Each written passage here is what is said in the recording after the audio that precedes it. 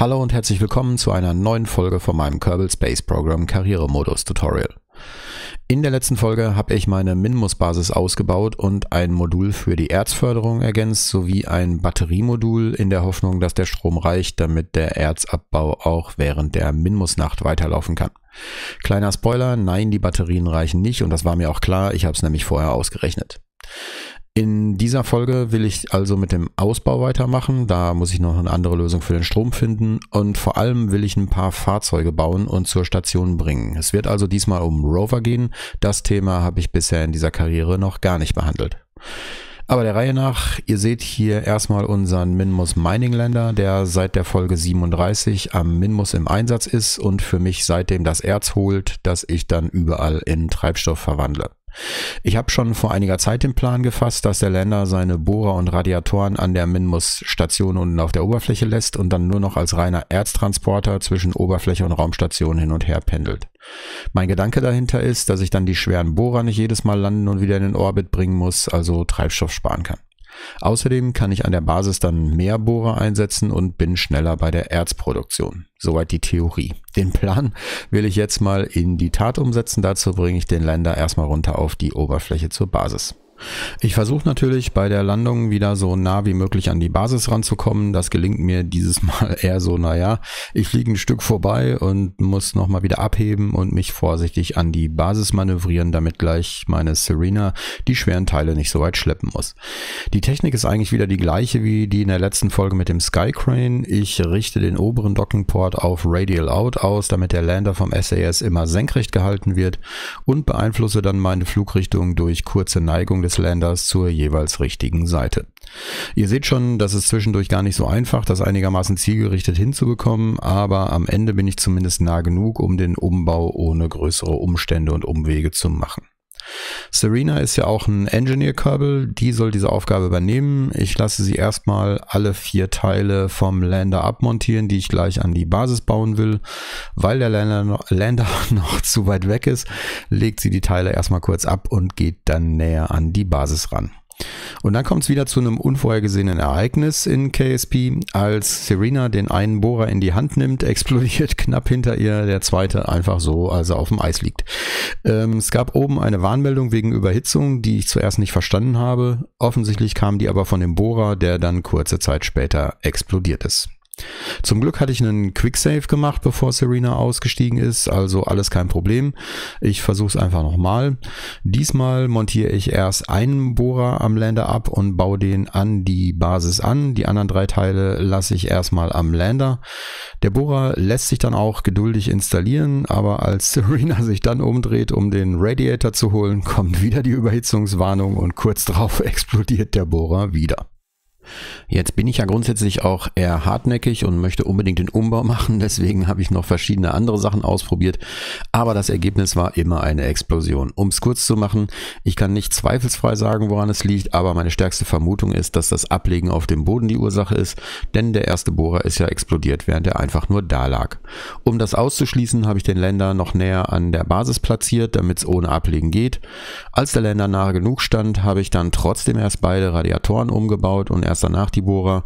Es ist dann einfach nichts mehr explodiert. Die Bohrer tun jetzt einfach ihren Job und fördern alle vier fleißig frisches Erz.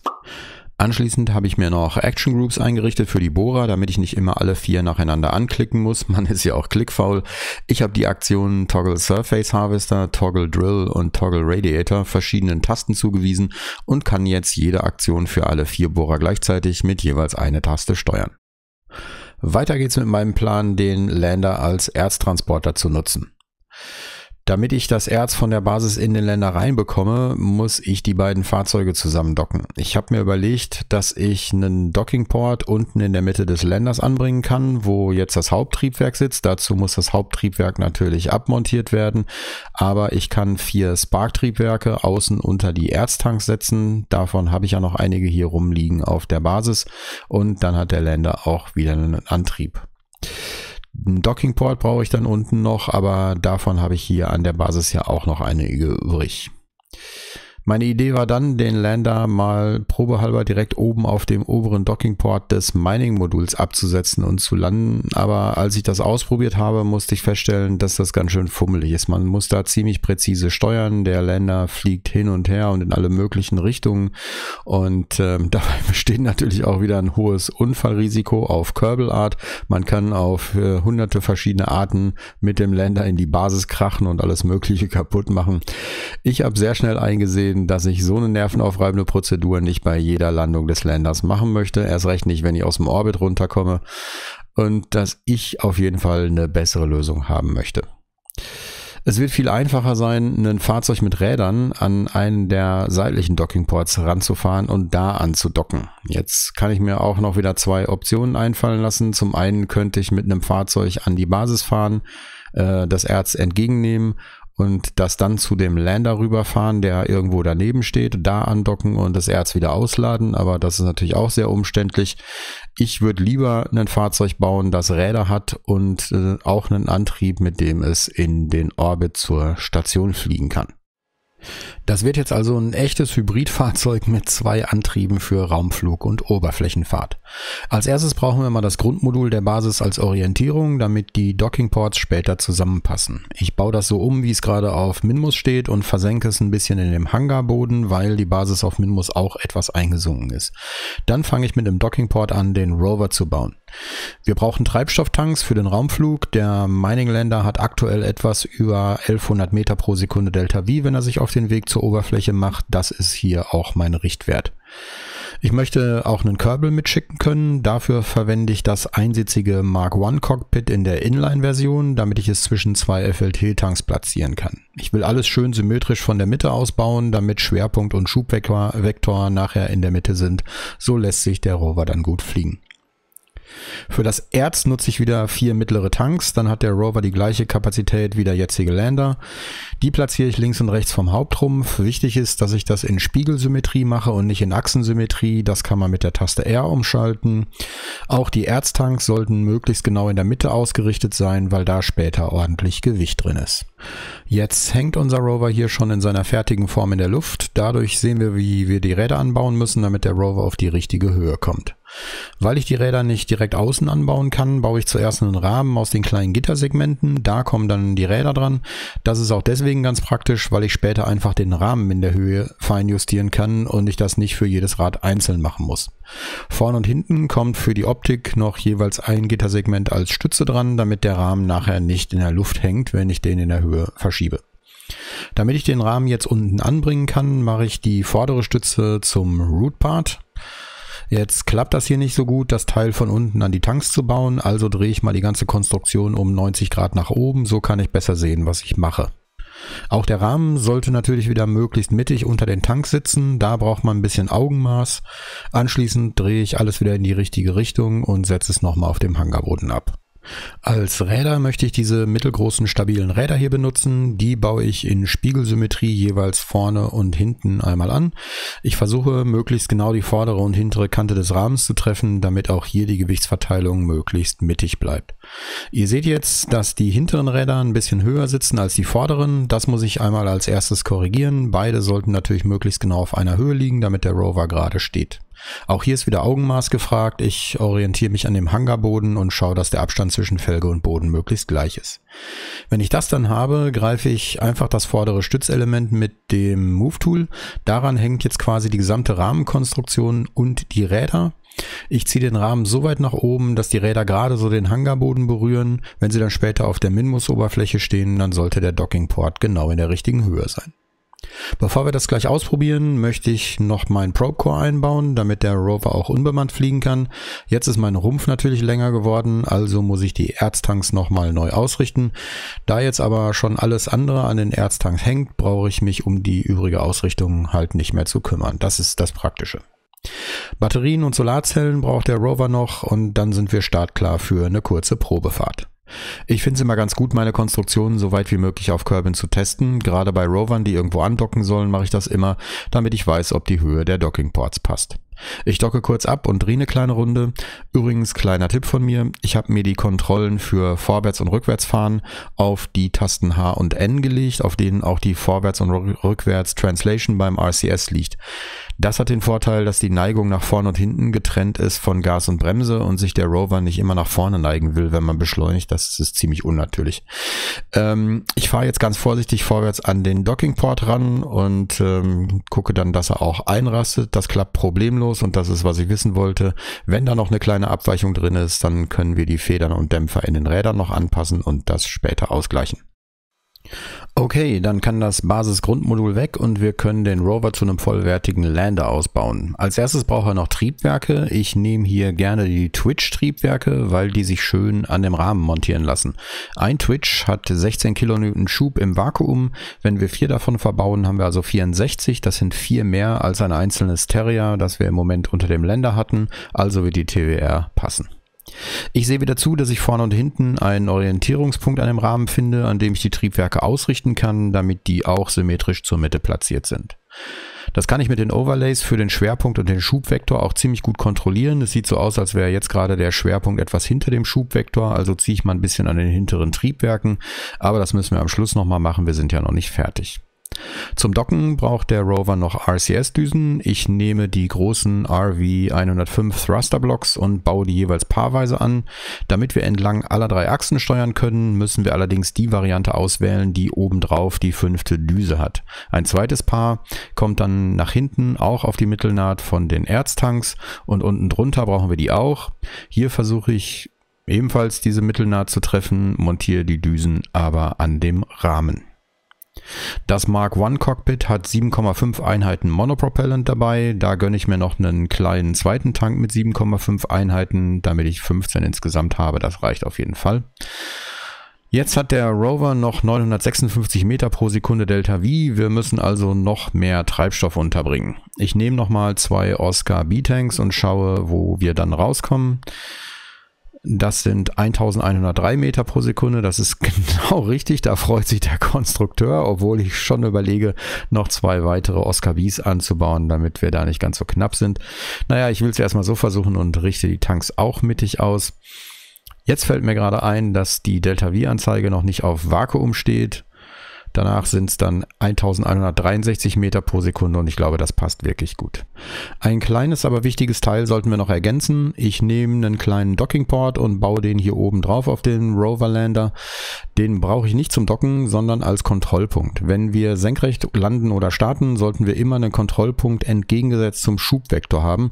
Das hatten wir bisher bei allen unseren Raumfahrzeugen und Landern und das sorgt dafür, dass wir diese Richtungsvektoren auf dem Navball ganz einfach wie immer nutzen können und nicht umdenken müssen, was wir sonst müssten, wenn wir das Cockpit oder die vorderen und hinteren Dockingports als Kontrollpunkte nehmen.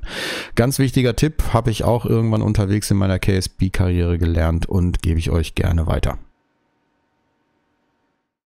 Ich gehe mal kurz rüber in die Mission Control. Es gibt hier noch diesen Auftrag, bei dem wir eine Bodenprobe an einer bestimmten Stelle in der Nähe der Minmus-Basis nehmen sollen.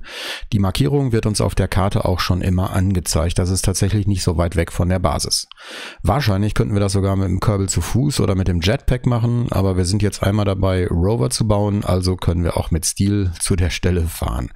Es wird nämlich wohl Folgendes passieren. Nachdem wir die erste Probe genommen haben, wird der nächste Teilauftrag erscheinen, der uns zu einer anderen Stelle schickt, um dort wieder eine Probe zu nehmen.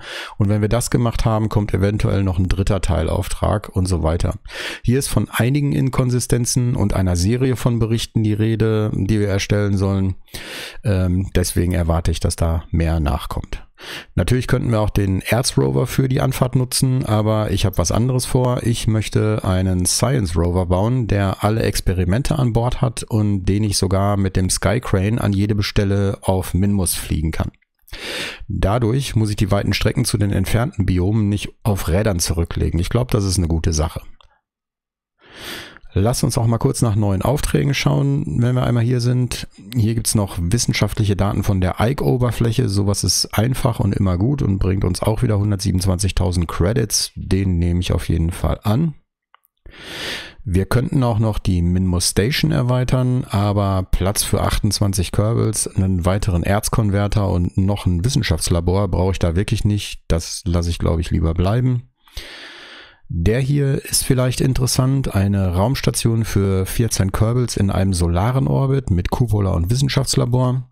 So eine Station brauchen wir eigentlich nicht wirklich, aber die zahlen uns über 200.000 im Voraus und über 700.000 für die Fertigstellung. Wir sind käuflich, das ist eine Überlegung wert. Wird wahrscheinlich auch ziemlich groß, das Ding, und muss beim Start bereits komplett zusammengebaut sein. Das könnte eine spannende Herausforderung sein. Hat ja auch drei Sterne der Auftrag. Soll ich, soll ich nicht? Äh, ach komm, her damit. Jetzt also der Science Rover. Das wird ein reines Fahrzeug ohne Raketenantrieb, weil der, wenn nötig, durch den Skycrane transportiert wird. Ich nehme das Mark II Landercan, allerdings wechsle ich auf die längliche Variante ohne die seitlichen Türen. Das ist der Klassiker in KSP für so einen Rover und wir können einen Fahrer und einen Wissenschaftler damit auf die Reise schicken, damit wir die Experimente mehrmals durchführen können. Da ist Monopropellant drin, den brauchen wir nicht, der kann raus, das spart Gewicht. Als Räder verwende ich hier die etwas kleineren Rovemax Model M1. Ich baue diesmal auch kein Untergestell dafür, weil dieses Landercan seitlich schön gerade ist. Da passen die Räder direkt dran. Ich muss nur wieder zusehen, dass ich die vorderen und hinteren Räder auf die gleiche Höhe baue. Das geht wieder nur freihand und mit Augenmaß. Obendrauf brauche ich einen Dockingport, damit der Skycrane den Rover tragen kann.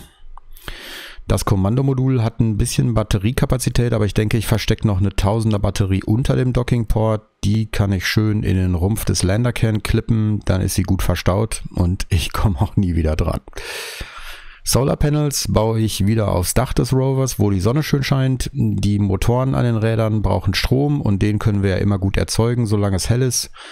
Mal sehen, welche Konfiguration da gut aussieht. Ich glaube, vier vorne und vier hinten sind gut und ähm, das ist auch eine, Aus eine ordentliche Ausbeute. Eine Antenne braucht, braucht der Rover auch, damit er notfalls auch ohne Pilot fahren kann. Dafür brauchen wir natürlich noch einen Probe Core, das machen wir gleich dann. Das sieht alles eigentlich sehr schlank und schick aus, also verschandeln wir das jetzt mal mit den Experimenten. Am schwierigsten ist es, das Science Junior unterzubringen. Der einzig sinnvolle Ort ist hier auf einer der Seitenflächen, wenn ich das Experiment dann mit dem Move Tool auch in den Rumpf klippe. Es passt dann oben und unten gerade so, dass nichts übersteht. Sieht hässlich aus, aber die Türen lassen sich öffnen. Dann sieht man sogar den Fusch, den ich hier mache. Naja. Auf der anderen Seite kann ich jetzt ziemlich locker alle anderen Experimente unterbringen. Thermometer, Barometer, Seismometer und Gravioli-Experiment. Dazu noch einen Goo-Container und am liebsten auch einen Container für Berichte. Dann haben wir immer einen Speicherplatz dafür. Einen Schönheitswettbewerb gewinnen wir jetzt damit ganz sicher nicht mehr, aber wir sind ja meistens auch weit weg von zu Hause. Als Probecore bietet sich hier der Rovemax, äh, nee, der Rovemate an, so heißt der. Das ist einfach ein Klotz, den ich unter das Landercan packen kann. Der hat auch gar nicht viele SAS-Funktionen, weil er eben für Rover gedacht ist. Die fliegen ja in der Regel nicht und brauchen deswegen auch keine SAS-Modi für die Richtungsvektoren. So ist mir das aber zu klotzig und es bleibt wenig Bodenfreiheit, also klippe ich den auch ein Stück in den Rumpf. Prima, knapp 2,3 Tonnen, das ist doch okay. Ich nenne ihn den Minmus Science Rover, speichere und dann ist das auch erledigt. Bevor ich mich jetzt um die Frage kümmere, wie ich die Rover zum Minmus bekomme, will ich noch ein neues Erweiterungsmodul für die Basis bauen. Die kann jetzt zwar Erz fördern, aber noch keinen Treibstoff herstellen. Das wäre allerdings aus mehreren Gründen praktisch, deswegen möchte ich noch ein Modul mit einem Konverter zur Basis schicken. Das fängt wie immer an mit einem Docking Port und einem Structural Adapter. Anschließend schiebe ich direkt den Konverter drunter. Für die Kühlung des Konverters möchte ich mal drei von diesen großen Radiator Panels anbringen. Allerdings wollen die direkt am Konverter nicht einrasten, also packe ich die erstmal zur Seite. Da brauchen wir wohl erst andere Teile, an denen wir die anbringen können. Ich hatte es vorhin gesagt, Batterien kann man nie genug haben, also nehme ich nochmal sechs von den 4K-Batterien mit. Die stecke ich einfach unter den Konverter. Unten dran kommt dann wieder das übliche Untergestell für die Basismodule. Die Triebwerke entferne ich natürlich und die Tanks kann ich auch leer machen. Jetzt kann ich auch die Radiator Panels anbringen. Ich nehme drei Stück, weil das gut zu der Dreierstruktur des Konverters passt. So überdecke ich jeweils die Lücken. Das sieht ganz nett aus. Die Panels schei scheinen jetzt zwar in der Luft zu hängen, aber für KSP hängen sie an den Batterien. Sie sollten also ihre Kühlleistung auf jeden Fall bringen. Für das Untergestell brauche ich natürlich wieder vier große Gittersegmente für den sicheren Stand. Die packe ich mir mal ins Frachtabteil, da passen sie gut rein.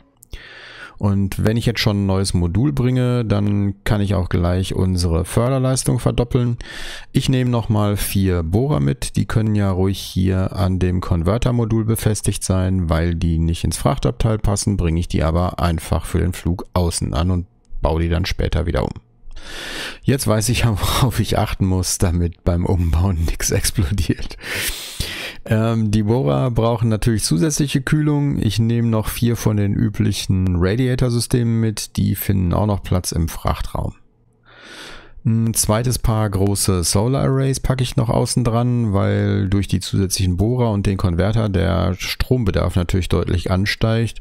Wo ich die hinbaue später an der Basis, das muss ich noch sehen, wenn ich da bin.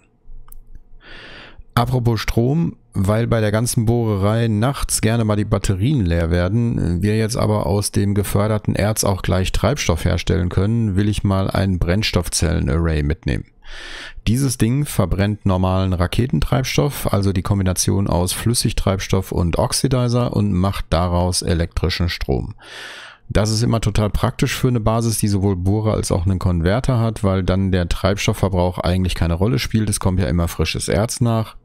Damit sollten wir also auch die ganze Nacht durchbohren können, weil die Batterien immer wieder aufgeladen werden. Das hoffe ich jedenfalls. Das Brennstoffzellenarray kommt einfach hinten an das Modul dran. Treibstoff speichern kann ich ja in den vielen kleinen Oscar B-Tanks, die ich überall an den Stützen der Module verbaut habe. So, dann speichere ich das Ganze mal kurz als Minmus Base Expansion 3. Damit ich das zusätzliche Modul überhaupt noch an die Basis anbauen kann, brauche ich auch wieder meinen Verbindungstunnel aus zwei Docking Ports und zwei von den Structural Fuselages. Diesmal baue ich den Tunnel aber hier komplett zusammen, der kommt mir nämlich sehr gelegen für den Transport der Rover, ihr seht auch gleich warum. Ich baue seitlich zwei kleine Gittersegmente an und daran befestige ich zwei Dockingports. Der Erzrover hat zwar einen kleinen Dockingport oben auf dem Rumpf, aber die kann ich hier später nicht gebrauchen, also entscheide ich mich nach etwas Überlegen doch für die normalgroßen hier an dem Tunnel. Einmal speichern und dann lade ich mir den Erzrover mit der Merge-Funktion zu meinem Konstrukt hier dazu. Nach dem Laden setze ich den Kontrollpunkt auf den kleinen Dockingport des Rovers. Ich will zwei Erzrover mitnehmen, die sollen hier außen auf die Dockingports montiert werden. Zuerst mal bringe ich aber den Dockingport mit seinen kleinen Gittersegmenten so nah wie möglich an den Tunnel ran, ohne dass der Rover den Tunnel berührt. Ihr habt richtig gehört, ich will zwei Rover mitnehmen. Warum? Das wird meine neue Lösung, um weitere Module an die Basis anzudocken. Ihr erinnert euch bestimmt noch an meine nervenaufreibenden Versuche aus der letzten Folge, das Docking mit Hilfe des Skycrane Fliegen zu bewerkstelligen. Das war mir zu anstrengend. Ich will mir seitlich an die Rover jeweils einen Dockingport basteln und dann das neue Modul quasi in die Mitte nehmen und es einfach an seinen Platz fahren. Das müsste viel geschmeidiger gehen als mit dem Skycrane. Ich habe gerade gemerkt, dass die kleinen Antennen der Rover mit dem großen Dockingports kollidieren. Die versetze ich eben, damit da beim Abdocken nichts kaputt geht. Zwei Verstrebungen bringe ich noch an, damit die Rover sicher am Tunnel befestigt sind und dann bringe ich auch noch zwei Streben an, um den Tunnel fest mit dem Basismodul zu verbinden. So müsste die Konstruktion stabil genug sein, um den Flug zu überstehen. Soweit so gut. Fehlt noch der Science Rover. Den merge ich auch noch dazu. Der hat ein schönes Plätzchen ganz oben an der Spitze der Konstruktion. Ich muss den nur in die richtige Ausrichtung bringen. Er fliegt sozusagen auf dem Kopf mit. Ich verpasse dem Science Rover noch einen Dockingport an seinem Unterboden, damit der Skycrane da andocken kann und dann hole ich mir den großen Reusable Launcher ran, um das ganze Kunstwerk hier in den Orbit zu schießen. Das Fairing muss wieder umgebaut werden. Wir brauchen ganz sicher das große mit 3,75 Meter Durchmesser, weil die Rover soweit rausstehen. Clamshell Deploy kann ich schon mal aktivieren. Ich muss aber auch wieder die Monoprop Tanks und die RCS Düsen umbauen. Dann kann der Launcher wieder drunter. Ich schaue mal kurz das Staging durch und packe dann alles schön in das Fairing ein. Das sieht am Ende sogar mal ganz gefällig aus. Kurzer Check, der Schwerpunkt liegt über dem Auftriebspunkt, das passt auch. Die meisten Treibstofftanks an den Erzrovern kann ich übrigens noch leer machen. Die kann ich ja an der Minmus Station auftanken, bevor die Rover landen. Dann muss ich das Gewicht nicht mitschleppen. Treibstoff können wir an der Minmus Station ja ohne Ende herstellen. Man nimmt ja auch keinen Sand mit an den Strand. Die hinteren beiden FLT-Tanks der Rover lasse ich aber voll, weil ich an der Kerbin Station nicht mehr genug Erz habe, um einen Truck ganz voll zu tanken. Ich brauche aber einen vollgetankten Truck, um diese Nutzlast hier zum Minmus zu fliegen. Die hat schon ordentlich Masse. Die Restmenge, die im Truck noch fehlt, sollte aber jetzt dann in den Rovern sein. Ich bin aber auch ziemlich sicher, dass im Launcher auch einiges übrig bleibt. Das lasse ich dann einfach an der Kerbin Station. So, jetzt habe ich eigentlich gedacht, ich bin fertig, aber zwei Sachen sind mir gerade noch eingefallen. Zum einen habe ich vergessen, zusätzliche Tunnelsegmente mitzunehmen für meinen Plan mit den seitlichen Dockingports an den Erzrovern ohne solche Verlängerungen werde ich nicht seitlich an das Basismodul andocken können, weil die Räder der Rover zu weit rausstehen. Ich klemme die beiden Structural Fuselages hier einfach außen an den Tunnel, ohne dass die die Streben berühren. Die gehen da jetzt mitten durch. Das ist doch eine lustige Idee.